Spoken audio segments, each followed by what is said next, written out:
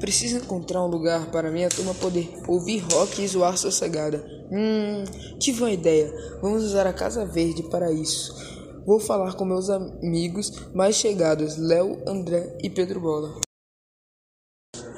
Agora que abrimos um buraco na parede, vamos entrar e. O quê? Saiam daqui! Temos que descobrir quem era aquele homem e por que estava lá. Vamos montar guarda por lá. Parece até aquela história sobre a Casa Verde, o alienista. Já estou quase dormindo. Mas o que é aquilo? Uma garota entrando com comida? Vou segui-la e tentar conhecê-la. Eu vi você entrando da Casa Verde e o homem lá dentro. Aquele homem é meu pai, bisneto do alienista. Ele acabou de concordar com suas ideias de se isolar por se achar louco. Falei com meu pai sobre e ele me aconselhou a procurar ajuda profissional para ajudar Jorge, o pai de Lúcia, o doutor Eduardo. Procurei também meus amigos. Você está escondendo essa garota de nós, não é? Você aqui é só pra si? Quando é pra enfrentar um maluco na Casa Verde, você lembra da gente? Os outros aqui na pizzaria não podem saber do Jorge.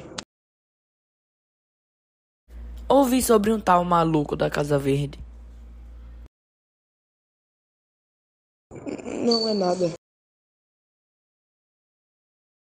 Sei, vou investigar melhor.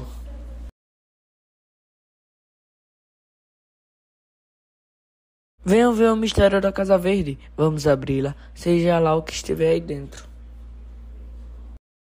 Vocês não podem fazer isso. Isso mesmo. Há um doente mental aí dentro. O que está acontecendo aqui? Só vim aqui pensar e ficar sozinho, como um alienista, sem incomodar ninguém. Quero voltar para minha casa, minha família.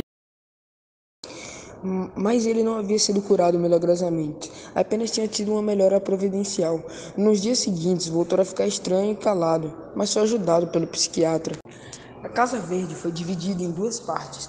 Uma, o clube que idealizei para mim e meus amigos, e na outra, a sede do Centro Cultural Machado de Assis, com biblioteca, sala de vídeo e a principal atração, o Museu do Alienista, organizado pelo Dr. Eduardo. Uma sala totalmente preservada para Jorge, passou a encenar o alienista.